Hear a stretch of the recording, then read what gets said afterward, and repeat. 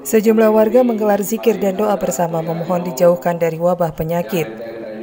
Doa dan zikir dilakukan bertepatan dengan peringatan Isra Mi'raj Nabi Muhammad Sallallahu Alaihi Wasallam berlangsung di Masjid Baitur Rahim, Gampung Kede 2, Kecamatan Darul Ihsan, Kabupaten Aceh Timur.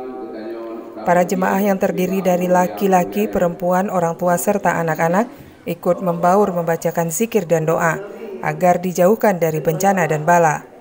Zikir dan doa bersama ini dipimpin langsung oleh ulama karismatik Tengku Abdul Wahab atau lebih akrab disapa dengan Abu Gede II. Zikir dan doa bersama dijalani para jemaah dengan khusyuk. Beberapa jemaah bahkan meneteskan air mata membacakan zikir. Bencana wabah penyakit virus corona membuat warga berharap dijauhkan dari kampung mereka.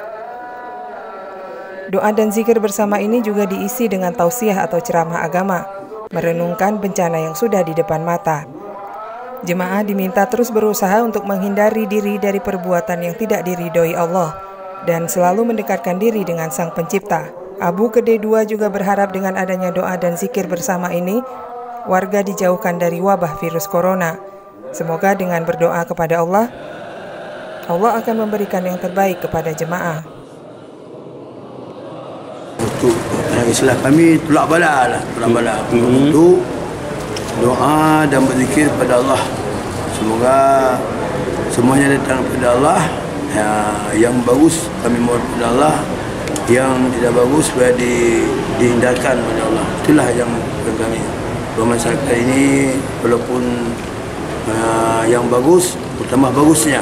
Ya, sesuai dengan firman Allah, Alladhi khalaqal mauta wal hayata liyabluwakum ahsana amala. Jadi yang baguslah.